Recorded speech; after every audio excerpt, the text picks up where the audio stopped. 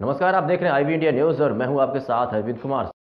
अब खबर श्रावस्ती से है, जहाँ एक तरफ़ केंद्र सरकार, जहाँ आम आदमी को बिजली मुहैया कराने के लिए सौभाग्य योजना के तहत बिजली कनेक्शन मुफ़्त में देने की बात कर रही है तो वही इस योजना के तहत किए कनेक्शन में बिना विद्युत सप्लाई से ही, सप्लाई के ही आई बिल ग्रामीणों के गले की फांस बन रही है।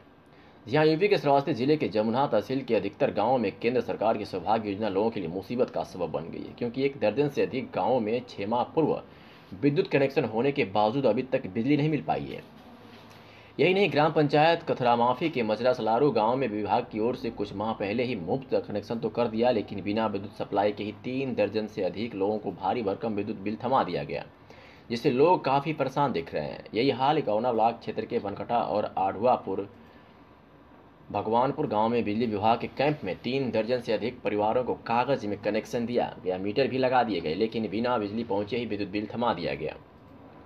दरअसल सरकार के निर्देश पर सौभाग्य योजना के तहत विद्युत विभाग की ओर से कराया जा रहे ज़िले के अधिकतर गाँवों में कनेक्शन के बाद बिजली न पहुँचना और कहीं पर बिना विद्युत सप्लाई के ही बिल जमा बिजली बिल आकर सरकार के उस दावों की पोल खोल रही है, जिसमें हर घर में इस योजना के तहत बिजली देने का दावा किया जा रहा है।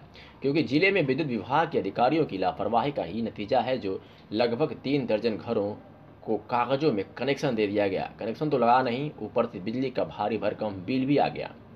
जब अब जब मामला मीडिया के सुर्खियाँ बना तो जिला स्तरीय अधिकारियों के हाथ पैर फूलने लगे और ये कमचोर कामचोर अधिकारी अब जाँच के बाद कार्रवाई की दुहाई दे रहे हैं। है कथरा माफ़ी का। और यहाँ शायद बिजली लाग गए है लेकिन कहीं कहीं तो मीटर लगा है बिजली कनेक्शन नहीं है। और बिल साहब आई गए है एक हज़ार इकसठ। तो बिका साहब गरीब आदमी कहाँ से लाई के दिए अब सब परेशान हैं।